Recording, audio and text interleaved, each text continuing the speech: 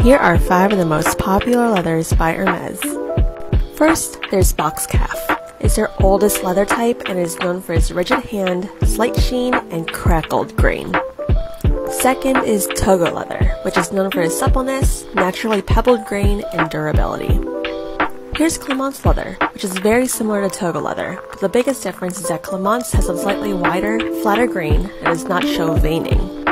Next, there's Epsom leather, which is characterized by a rigid hand and semi-matte appearance, and a pressed cross-hatch grain, which is what makes Epsom so rigid and durable. And last but not least, there's Swift leather, which is known for its supple and smooth hand, semi-matte appearance, and smooth, natural grain.